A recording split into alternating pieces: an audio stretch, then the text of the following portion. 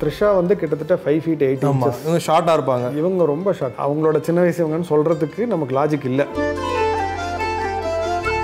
படம் முழுக்க விஜய் சேதுபதி சார் கழுத்தில் ஒரு சின்ன கயிறு கட்டிருப்பாரு அந்த க்ரீன் கலரில் படம் முடிஞ்சிட்ட பிறகும் நிறைய ஒரு ஷோஸில் பண்ணும்போது அந்த கயிறு எப்பவுமே இருந்துச்சு. பேரு கே ராமச்சந்திரன் இருக்கும். கழுத்தில் போட்டிருக்கிறது இஸ்லாமிய இதில் போட்டிருக்கக்கூடிய ஒரு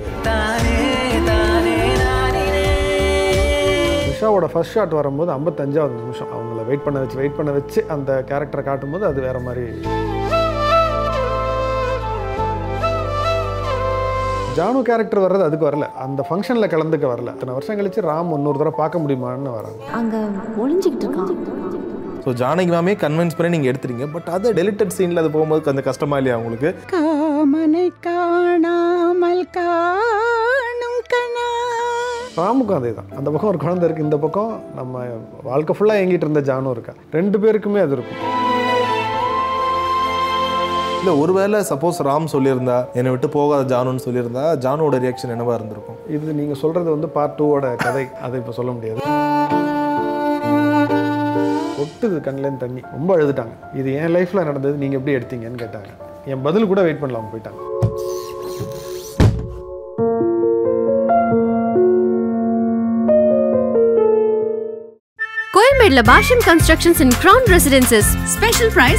வரும் seven five double nine only for bookings call nine eight four zero four double seven triple seven hello sir வணக்கம். வணக்கம். ஸோ எல்லாம் எவ்வளோ ஒரு வருஷத்துக்கு ஒரு இரநூறுலேருந்து முந்நூறு படங்கள் வந்தாலும் சில படங்கள் தான் மக்கள் மனசில் காலத்துக்கும் நிற்கும் ஸோ அப்படி ஒரு படமாக மாறி இருக்கிறது ninety six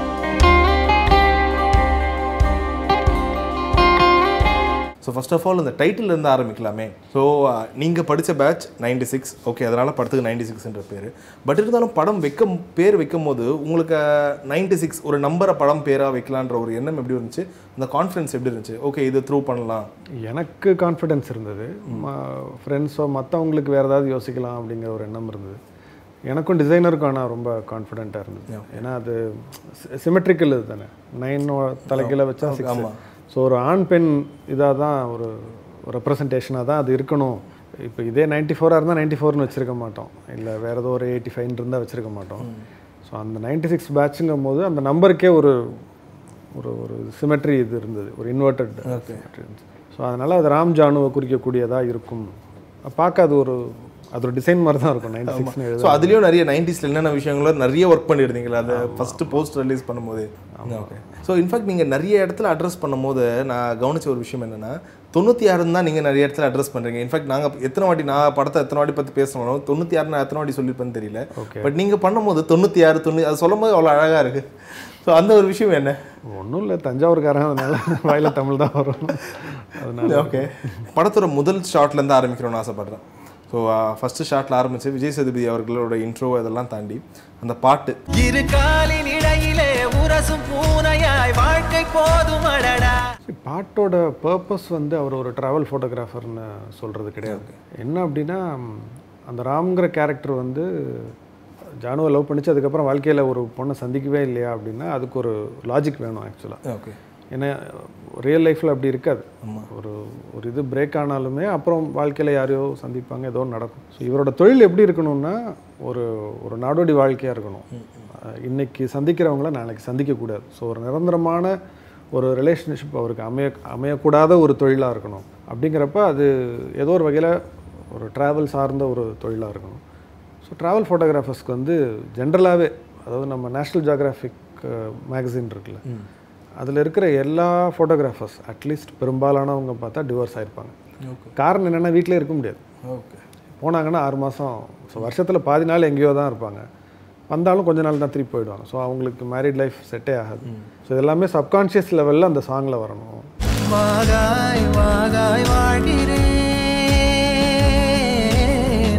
okay wonderful in fact படத்தில் முதல் முறையாக ராம் ஜானுன்ற வார்த்தையை அவர் எழுதியிருப்பார். யாருமே இல்லாத ஒரு இடத்துலையும் நான் ஜானுவை நினச்சிட்டு இருக்கிறதுக்கான ஒரு இதுவா அது. ஆமாம்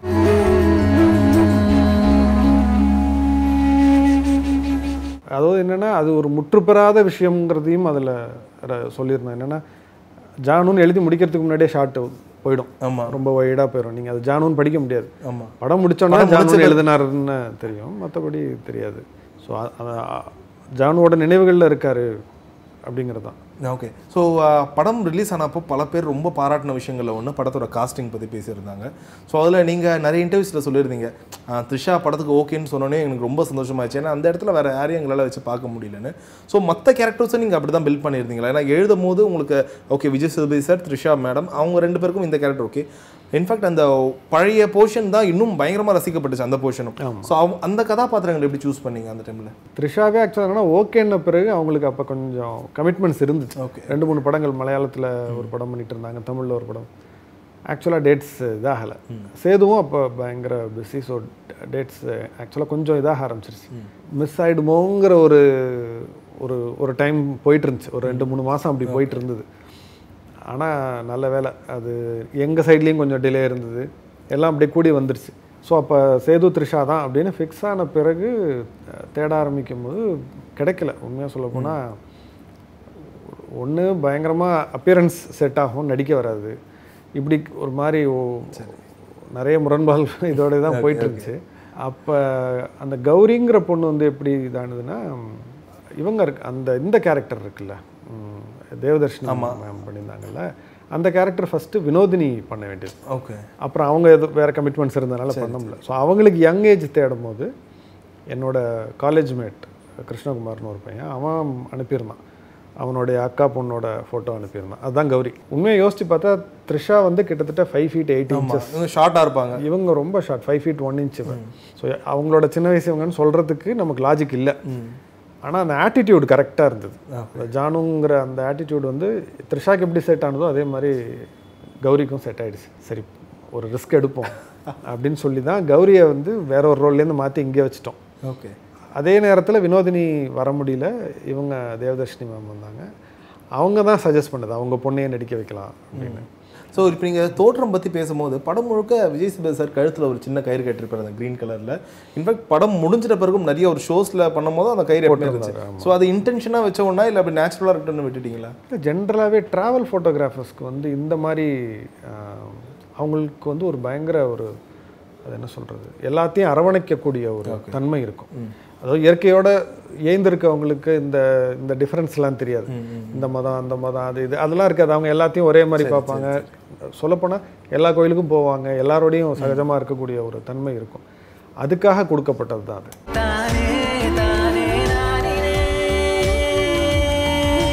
பேரு கே ராமச்சந்திரன் இருக்கும். கழுத்தில் போட்டிருக்கிறது இஸ்லாமிய இதில் போட்டிருக்கக்கூடிய ஒரு தாவிஸ். ஓகே. ஸோ அவர் அது படம் முடிஞ்ச பிறகு அவர் அதை அப்படியே கேஷுவலாக அப்படியே மெயின்டைன் அவர் அது அவருக்கு என்னன்னா அந்த அவருக்கு கொடுத்த காஸ்டியூம்லாம் கூட அவருக்கு ரொம்ப பிடிச்சி போச்சு. கழட்டலாம் மாட்டார். அப்படியே எடுத்து அப்படியே மீட்டிங் போவார். அப்படியே பொதுவாக படம் ஷூட் முடிஞ்சதுன்னா கொடுத்துருவாங்கல்ல. அதனால் அவர் பிடிச்சி போச்சு அது. ஓகே ஸோ அப்போ நீங்கள் ஷூட்டிங் ஸ்டார்ட் பண்ணும்போது what was the first scene எந்த சீன் எடுத்தீங்க? அண்டர் வாட்டர் ஷாட் ஓகே அந்த லைஃப் ஆஃப் ராம் சாங்கில் வந்து தண்ணி கடியில் போய் அந்த மீனோடலாம் இது பண்ணுறது இருக்கும்ல. அதுதான் ஃபர்ஸ்ட் டே ஷூட் பிடிக்குது கடலை. ஸோ படம் முதல் முப்பது நிமிஷத்துக்கு அப்புறம் டேரெக்டாக ஸ்கூலில் பழைய ஃப்ளாஷ்பேக்குக்கு போகுது. ஸோ அந்த ஒரு விஷயம் மேபி படம் ஃபர்ஸ்ட் வாட்டி பார்க்குறவங்களுக்கு அவங்களோட எண்ணம் ஃபுல்லாக ஓகே த்ரிஷான் விஜய் சேதுபதியை பார்க்க போகிறோம் அந்த ஒரு எண்ணத்தில் வந்திருப்பாங்க. பட் ஆல்மோஸ்ட் இந்த ஸ்கூல் ஒரு தேர்ட்டி டு ஃபார்ட்டி மினிட்ஸ் இருக்கும் தேர்ட்டி ஃபைவ் மினிட்ஸ் இருக்கும்ல. ஸோ அந்த ஒரு டிசிஷன் நீங்கள் எடுக்கும்போது எப்படி இருந்துச்சு? ஏன்னா வரவங்க விஜய் சேதுபதி த்ரிஷா மேலே ரொம்ப ஒரு ஆர்வமாக வர போகிறாங்க பட் இருந்தாலும் நம்ம கிட்டத்தட்ட ஒரு ஃபார்ட்டி மினிட்ஸ் ஃப்ளாஷ்பேக் வைக்க போகிறோம் ஸோ இதை ஆடியன்ஸ் அக்செப்ட் பண்ணிப்பாங்களான்ற அந்த ஒரு மனநிலை எப்படி இருந்துச்சு? அப்படி யோசிக்கல உண்மையாகவே அதாவது இதை அக்செப்ட் பண்ணுவாங்களா அப்படின்னு யோசிக்கல. முதல்ல கதை எழுதும்போது நமக்கு அது பிடிச்சிருக்கணும். நமக்கு அது என்டர்டெய்னிங்காக இருக்கணும் இன்னொன்று எஸ் ஆப்வியஸ்லி அது வரும்போது சேது த்ரிஷா படம் தான் வருவாங்க. பட் ஒன்ஸ் தேட்டரில் உட்காந்து அந்த ஃபஸ்ட்டு ஷார்ட்டோ இல்லை ஃபஸ்ட்டு சீன் முடியும் போது அவங்க ஒரு கதையை கேட்குற மனநிலையில் தான் இருப்பாங்க. இந்த படம் இல்லை எனி ஃபிலிம் ஸோ அதனால் நீங்கள் கதையை ஒழுங்காக சொல்லணும். அதை சொல்லி வந்தீங்கன்னா அப்படி பார்த்தா நீங்கள் த்ரிஷாவோட ஃபர்ஸ்ட் ஷாட் வரும்போது ஐம்பத்தஞ்சாவது நிமிஷம். Almost one hour yes yes yes அப்போ தான் அவங்களோட இது. அதுக்கப்புறமா தான் அவங்க ஸ்கோரே ஏறும். அந்த ஜானுங்கிற கேரக்டர் ஸ்கோர் ஏறுறது ஃபஸ்ட்டு ஷாட்லேருந்தே ஏற ஆரம்பிச்சிடும்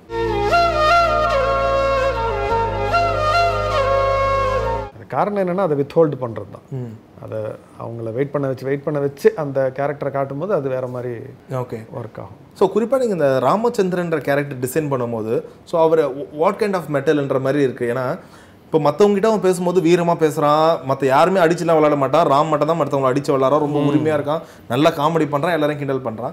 பட் ராமுக்கு ஜானுவை பார்த்தா மட்டும்தான் அந்த வெக்க அந்த மாதிரி ஒரு விஷயமா? இல்ல மற்றவங்க கிட்ட ஏன் கோவமா நடந்துக்கிறாரு? மேபி கொஞ்சம் ஸ்ட்ரிக்டா நடந்துக்கிறான காரணம் என்ன? சரி அது எல்லாருக்குள்ளாரையுமே ஒரு ஒரு- இது இருக்கும். ஒரு டியூவல் சைடு இருக்கும் சொல்லுவாங்க. கிட்டத்தட்ட ராம் அப்படிதான். இன்னொன்று யாராக இருந்தாலுமே அது நல்லா நல்லா கலகலன்னு பேசுகிறவங்க கூட அவங்க சோல்மேட்ஸை மீட் பண்ணும்போது அவங்களுக்கான அந்த படபடப்பு அந்த இது இருக்க தான் செய்யும். ராம்? சொல்லப்போனால் அந்த கேரக்டர் ஒர்க் ஆனதுக்கு ரீசனும் அதுதான். எல்லா எல்லா ஆம்பளைங்களாலையும் ரிலேட் பண்ணக்கூடியது அதுதான் ஸோ அப்படி தான் அதை வச்சது. ராம்ங்கிறவன் ஒரு முரடன் தான் ஒரு முரடன் தான் ஒரு மாவீரன் தான். இருந்தாலும் அது ஜானு கிட்ட அது செல்லாதுங்கிறது தான் அதோட லாஜிக் ஓகே ஸோ யூஸ்வலாக எங்களை நாங்கள் இதுக்கு முன்னாடி பார்த்த சினிமாவில் த்ரில்லர் படமாக இருக்கட்டும் ஹாரர் படமாக இருக்கட்டும் ஒரு ஒன் நைட் மூவி பார்த்துருக்கோம். ஸோ ஒரு லவ் ஸ்டோரி இதுதான் எனக்கு தெரிஞ்சு ஒரு ஒன் நைட் மூவியில் பார்க்கணும் ஸோ அப்போ நீங்கள் இந்த ட்ரெஸ்ஸிங்னு வரும்போது அதுலேயும் நிறைய கான்சன்ட்ரேஷன் பண்ணீங்களே படம் ஃபுல்லாக இந்த விஷயம் தான் பண்ண போறீங்கன்னு. ஸோ நீங்கள் எதிர்பார்த்தீங்களா? த்ரிஷா அவங்க போடக்கூடிய அந்த சுடிதார் இந்த அளவுக்கு ஃபேமஸ் ஆகுன்ற மாதிரி ஒரு விஷயம் எதிர்பார்த்தீங்களா? இல்ல. இல்லை அதுக்கு காரணம் ஏதாச்சும் இருக்கா? பர்டிகுலராக அந்த கலர் இல்லை விஜய் சேதுபதி சார் இந்த கலர் சூஸ் பண்ணுறதுக்கான காரணம் ஏதாச்சும் இருக்கா? சேதுவோட காஸ்டியூம் வந்து மேக்ஸிமம் அதாவது ஒரு மாதிரி dark dull colours okay dull பளிச்சுன்னு இருக்கக்கூடாது. ஒரு என்ன சொல்கிறது நேச்சரில் இருக்கக்கூடிய கலர்ஸ் இருக்கும்ல. ஓகே இப்போ நீங்கள் ஒரு இயற்கையிலேருந்து ஏதோ ஒரு ஒரு ஒரு அனிமலோ ஒரு ரெப்டைலோ ஒரு பேர்டு எடுத்தீங்கன்னா அதுக்கு உடம்புல என்ன கலர் இருக்குமோ அதான் இருக்கணும் அவர் மேலே. ரொம்ப தெரியக்கூடாது பளிச்சுன்னு தெரியக்கூடாதுங்கிறது தான் அவருக்கு டெஃபினிஷன் அது ஈஸியாக நடந்துருச்சு. அது சொல்லப்போனால் கஷ்டப்படலை அதுக்கு. த்ரிஷாக்கு ஆக்சுவலாக சொன்ன ட்ரெஸ் என்னென்னா ஏன்னா நாங்கள் சூஸ் பண்ண லொக்கேஷன் எல்லாம் இப்போ இதில் இருக்கிற பேக்ரவுண்ட் மாதிரி தான். எல்லாம் ப்ரௌன் எல்லோ கிரே இந்த மாதிரி கலர் பேக்ரவுண்ட் தான் இருந்துச்சு. அந்த ஃபைவ் ஸ்டார் ஹோட்டலாக இருக்கட்டும் எல்லாமே அப்படி.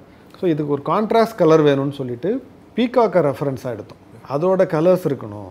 ஸோ தட் அவங்க இதில் ஸ்டாண்ட் அவுட் ஆவாங்க தனிச்சு தெரிவாங்க. காஸ்டியூம் டிசைனர்கிட்ட சொல்லியாச்சு. அவங்க வந்து எனக்கு ஒரு இருபது வருஷமாக ஃப்ரெண்ட் அவங்க எனக்கு. படிக்கிற வயசுலேருந்தே அவங்கள எனக்கு தெரியும். அவங்க டெக்ஸ்டைல் டிசைனர் வேறு. சொன்னோன்னே அவங்க சரி சரின்னு தலையாட்டிட்டு போயிட்டு அவங்க எடுத்தது ஃபஸ்ட்டு இது. சொன்னது ப்ளூ ப்ளூ ப்ளூயிஷ் green. அவங்க எடுத்தது எல்லோ. கான்ட்ராஸ்ட் கலர் எடுத்தோன்னே எனக்கு ஒன்றும் புரியல ஆனால் பிடிச்சிருக்கு. பிளெயின் ஒன்றுமே இல்லை பிளெயினாக இருக்குது கேமராமேனுக்கும் அவங்களுக்கு சண்டை வேறு நடந்துட்டுருக்கு. அவர் வந்து வேறு அவர் சம்மந்தம் இல்லாமல் ஒரு மரூன் கலர் எடுத்து வச்சுட்டு அவர் இதுதாங்கிறாரு. அதுவும் நல்லா தான் இருக்குது ஆனால் இவங்க அந்த எல்லோ வச்சுட்டு ஒன்றுமே பேசலை எடுத்து வச்சுட்டாங்க. அவங்களுக்கு தெரிஞ்சிருச்சு நான் சொல்ல போகிறேன்னு நல்லா இருக்குது எதுக்கும் த்ரிஷாவுக்கு ஒரு தடவை அதை போட சொல்லி நம்ம செக் பண்ணிப்போம். அதுவும் ஒரு ப்ளூ ஜீனும் வாங்கிட்டு போகிறோம் வீட்டுக்கு போனால் அவங்க வந்துட்டு சரின்ட்டு அந்த காஸ்டியூம்ஸை போட்டு வந்து நின்னாங்க. கன்ஃபார்மாக தெரிஞ்சிருச்சு.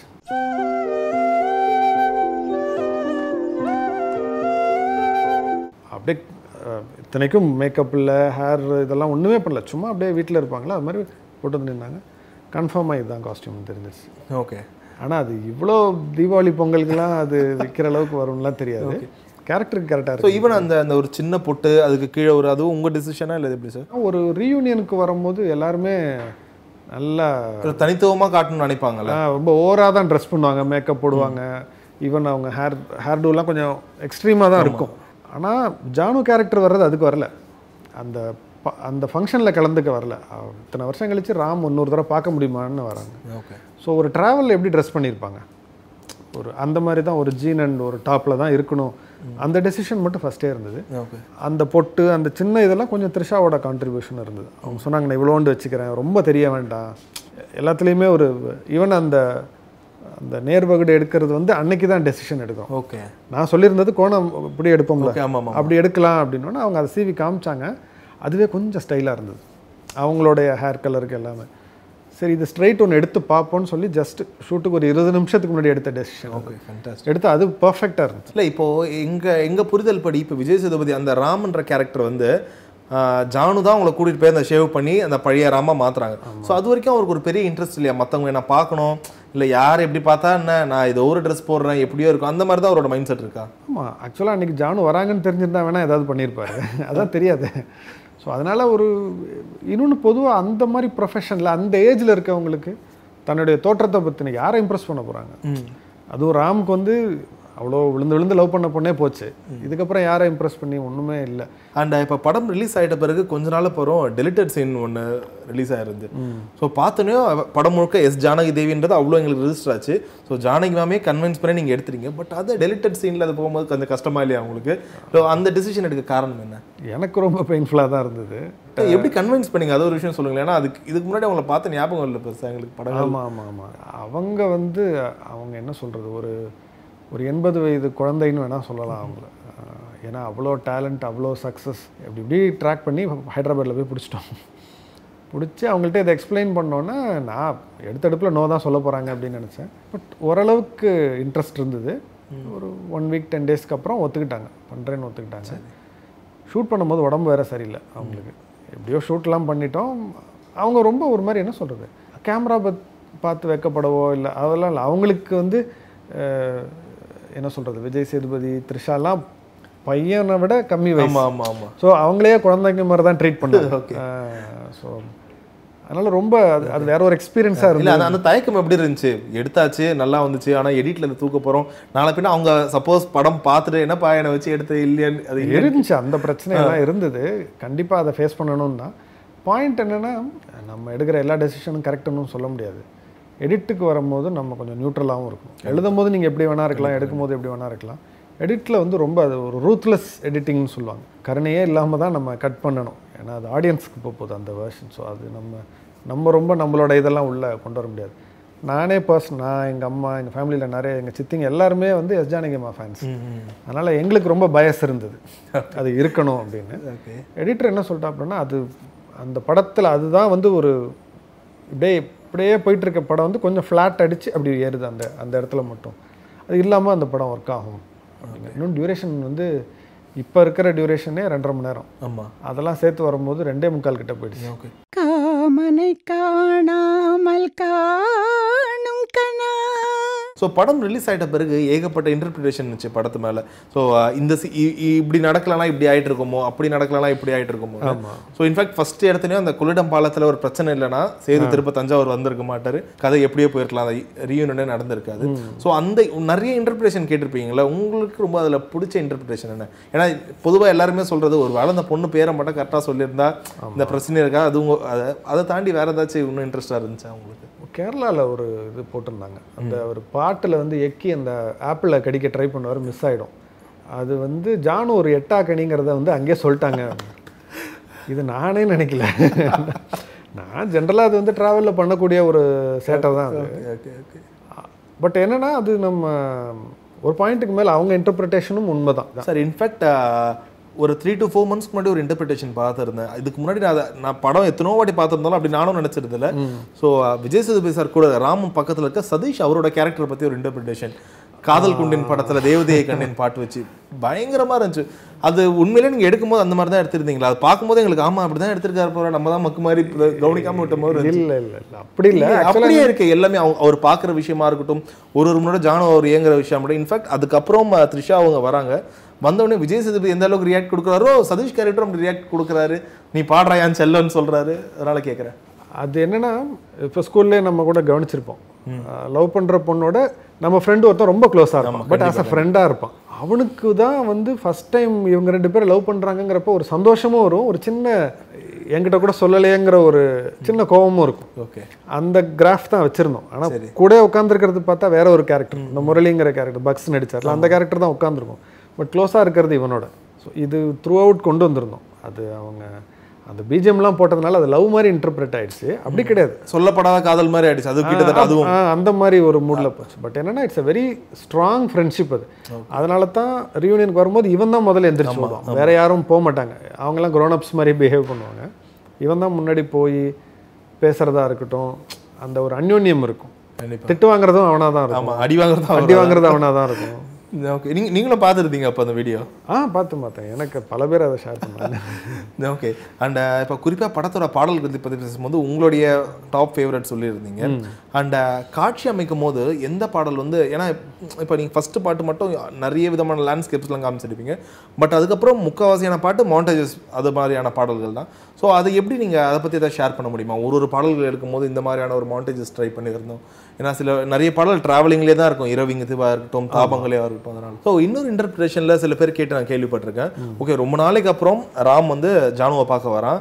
பட் இந்த அவனா இவனான்னு கேட்டுறாங்க அந்த பேர் மாற்றம்லாம் ஏற்படுது. அதனால ராம் அங்க வந்து விலகி போயிடுறான். ஏன் இன்னொரு வாட்டி ராம் ட்ரை பண்ணவே இல்லை? ஒரு வாட்டி கூட அதுக்கப்புறம் தொடர்ந்து அவரை ஃபாலோ பண்ணிட்டு தான் இருக்கான். யார் அவன் பின்னாடி சுத்துறானோ அவரை அடிக்கிறான். எதெல்லாம் பண்றான். பட் இருந்தாலும் ஏன் இன்னொரு வாட்டி போய் பேசியிருக்கலாமே? ஒரு ராம் கேரக்டர் பாயிண்ட் ஆஃப் வியூலேருந்து பார்க்கணும். ம். இவ்வளோ லவ் பண்ண பொண்ணு நம்மளை நிராகரிச்சிட்டா அப்படின்ன பிறகு அவ்வளோதான் அதுக்கப்புறம் அது ஒன் சைட் லவ்? ஆ அது ஒன் சைட் லவ் தான் அது அதுக்கப்புறம். சரி. ஒருவேளை அவள் மாறிட்டா போல இல்லை வேறு ஏதோ நடந்துருச்சு போல அப்படிங்கிறது தான் ராமோடது. இன்னொன்று அது ரொம்ப ஒரு பக்குவப்படாத வயசு. ஒரு இருபத்தஞ்சுலயோ முப்பது வயசில் நடக்கல. அது நடக்கிறது வந்து ஒரு பத்தொம்பது பதினெட்டு வயசில் நடக்கக்கூடிய ஒரு சம்பவம். அது ஒரு பெரிய இது இல்லை ஹார்ட் பிரேக்கில் அது. பார்க்க கூட வரல கீழே இறங்கி பார்க்க கூட வரல அப்படிங்கிறது வந்து ஒரு பெரிய ஒரு ஒரு அடின்னு சொல்லலாம் அது. அதுக்கு அதுலேருந்து மீ மீள முடியாது. நான் இனிமேல் அவங்கள தொந்தரவு பண்ண மாட்டேன்னு மட்டும் சொல்லிடுங்க. டேய் எதுக்குடா அவசரப்படுற? இல்லை அப்போ இந்த வழியே தாங்க முடியாத. எப்படி அவரோட மேரேஜுக்கு போவார்ல? அது எதனால? See, என்னன்னா அது வரைக்கும் அது ராமோட ஜானு தான். வேணான்னு சொன்னாலுமே ராமோட ஜானு அது. ராம்ஸ் ஜானுன்னு சொல்கிறோம்ல அந்த மாதிரி தான். ஆனால் ஒன்ஸ் அந்த கல்யாணம் நடந்துருச்சுன்னா இல்லை. அதுக்கப்புறம் அது என்ன இருந்தாலும் அது இல்ல அவன் ஒரு நப்பாசையில போனாடா. ராமன்ற கதாபாத்திரம் ஒரு நப்பாசையில ஒருவேளை கல்யாணம் கடைசியில நின்னுடுமோ? அந்த மாதிரி மனசுக்குள்ள அது மாதிரிலாம் இல்ல. அதாவது கடைசியா ஜானு ஒரு அடி என்னோட ஜானுவா நான் கடைசி வரைக்கும் பார்க்கணுங்கிற ஒரு எண்ணம் இருக்குல்ல. ஓகே ஓகே அதனால தான் தாலி கட்டுற வரைக்கும் என்னால் இருக்க முடியலன்னு சொல்கிறது ஓகே அந்த தாலி மேடைக்கு போகும்ல அது எல்லாமே நம்ம கற்பனை பண்ணிக்கணும். அது மேலே போனோடனே ஓடிடுவான். அதுக்கப்புறம் பார்க்க முடியாது. அதுக்கப்புறம் முடியாமல் தான் ஓடியே போயிடுறது. ஓகே. ஸோ இன்ஃபேக்ட் ஆஃப்டர் அது அந்த ஒரு அவங்களோட ஃபேர்வெல் முடியுது மூன் ரேக்கர்ஸில் காஃபி டீலாம் குடிக்கிறாங்க. அப்போ வந்து ஜானுவோட சின்ன வயசு அவரோட குழந்தைன்னு ஜானுவோட சின்ன வயசு ஃபோட்டோ காட்டுவாங்க.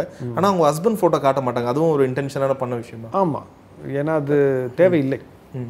ஏன்னா அவருக்கு அவருடைய பிக்சர் காட்டும் போது இன்னார் ஒய்ஃப்ங்கிறது வந்து நமக்கு தேவையில்லாமல் நமக்கு மைண்டில் பின்னாடி ஓடிக்கிட்டே இருக்கும். ஒன்று ரெண்டு இடத்துல தான் அண்டர்லைன் பண்ணுவோம். அப்பயும் அவரை பற்றி சொல்ல மாட்டோம். எண்டில் தான் ஈவன் ஜானுவா அவரை பற்றி நல்ல விஷயம் நல்ல விதமாக தான் சொல்லியிருப்பாங்க. அது எண்டில் தான் சொல்லுவாங்க. என்னன்னா பிரிய போகிறாங்க இன்னும் கொஞ்சம் நேரத்துலங்கும் போது தான் அவங்க அந்த பேரையே அவங்க தைரியமாக சொல்லுவாங்க. ஓகே. அவனுக்கு பொண்ணு பார்ப்பாங்கல்ல.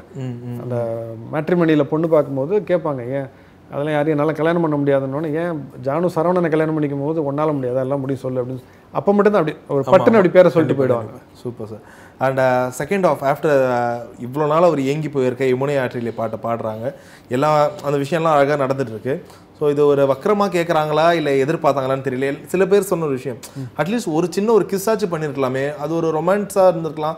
ஒரு அன்பை வெளிப்படுத்தின ஒரு விதமாக இருக்கலாம். ஒரு சின்ன ஒரு கிஸ் அட்லீஸ்ட் ஒரு ஃபோர் ஹெட் கிஸ் கூட ஈவன் அந்த ஏர்போர்ட்லோட ஒரு ஃபோர் ஹெட் கிஸ் கூட இருக்காது.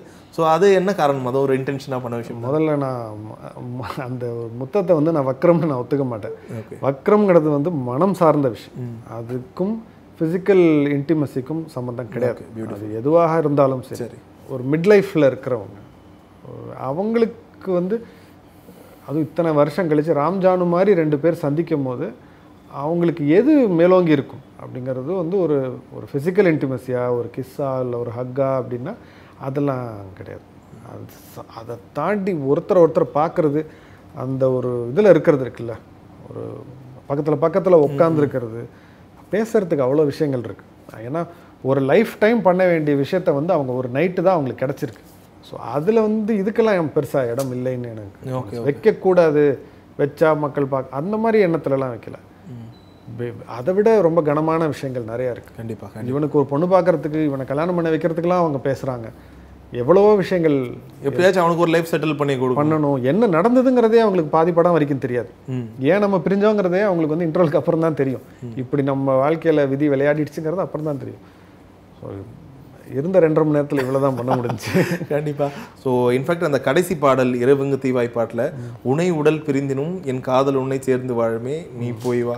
ஸோ அப்போ ஒரு பக்கம் ராம் ரெடி ஆயிட்டாரா? ஓகே ஜானு என்னை விட்டு போறா ரெடி ஆயிட்டாரு. பட் அந்த லிவர்ல கை வந்து த்ரிஷா தான் வைப்பாங்க.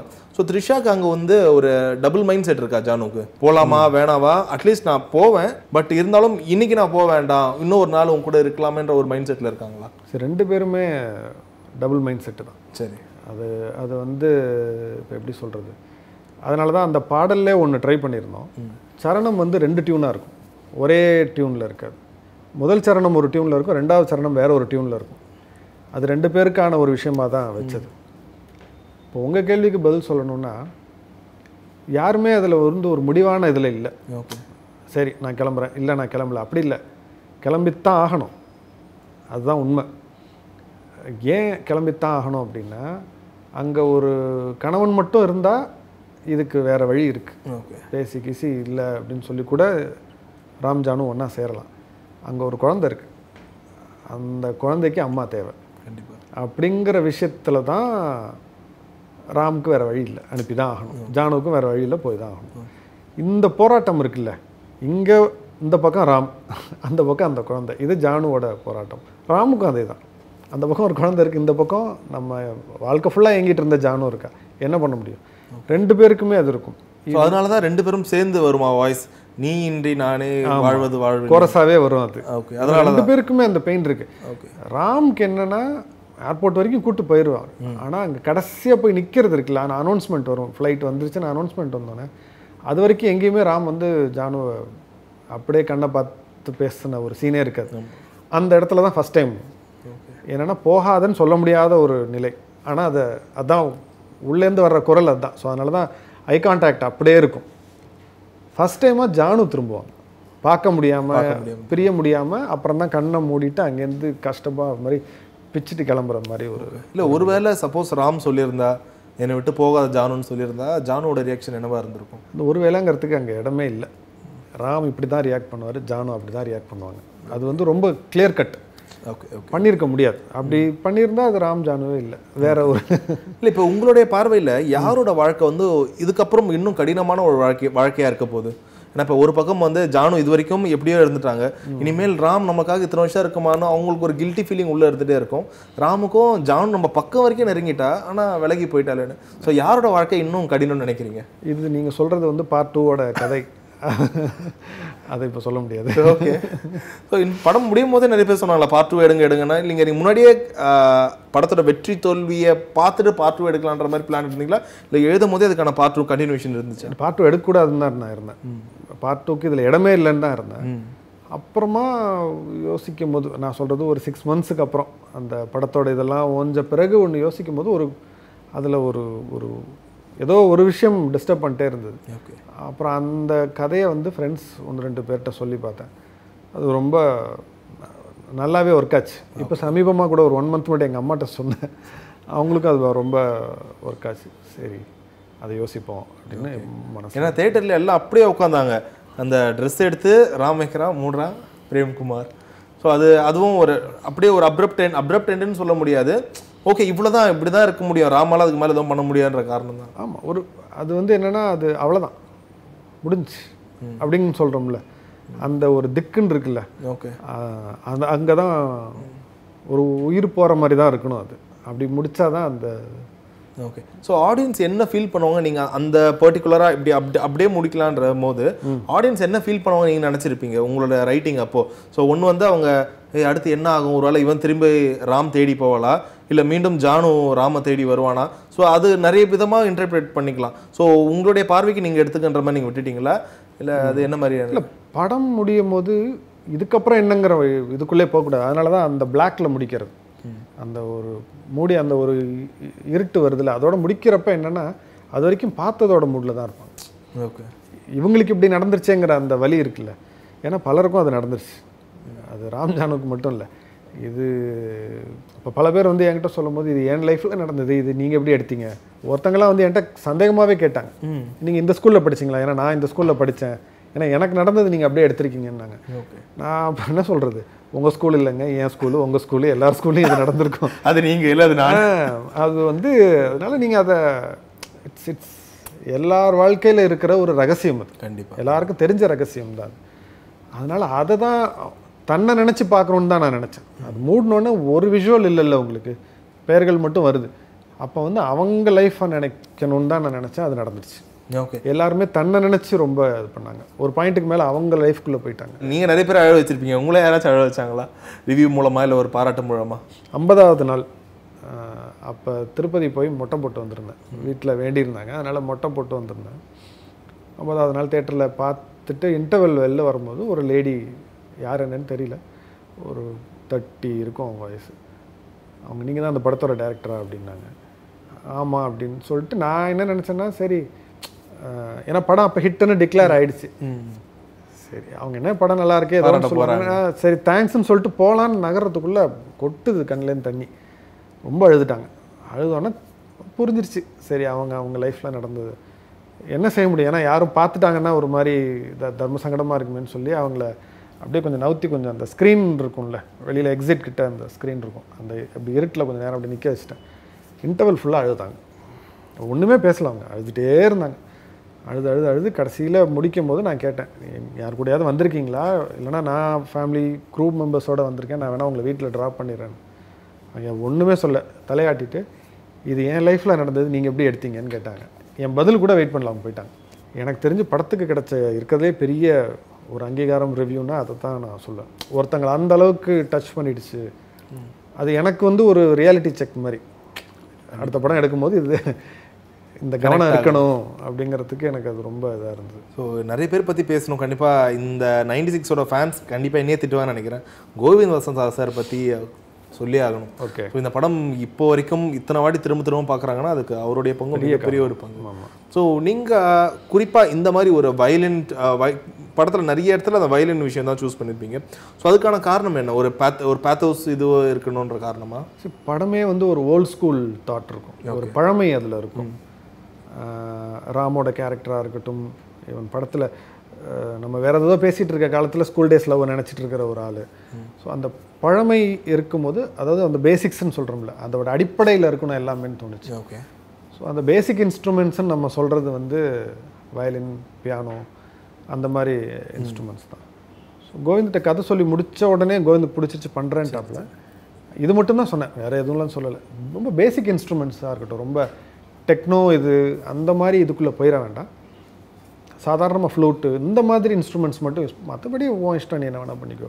ஃப்ளூட் மட்டும்தான் அவரோட ஃப்ரெண்டு வந்து வாசிச்சார். மற்றதெல்லாம் இன்ஃபேக்ட் அந்த டைட்டில் கார்டு போடும் போதே நான் சொல்றது படத்தை ரெண்டாவது வாட்டி மூணாவது வாட்டி பார்க்குறவங்கள. முதல் வாட்டி பார்க்குறவங்களே அந்த நைன்டி சிக்ஸ் டைட்டில் கார்டு போடும்போது கத்த ஆரம்பிச்சு கை தட்டினாங்க. ஆமா. அது அந்த அந்த ரிஜிஸ்டர் அந்த ரிதம் ஆமாம். அது அது வெரி மெடிடேட்டிவ் அந்த சவுண்ட்ஸ் அது கோவிந்துக்கே உரிய இது. கண்டிப்பா கண்டிப்பா ஆஹ் அந்த பிஜிஎம் இருக்குல்ல அதுவே ஒரு இதாக விட்டாங்க.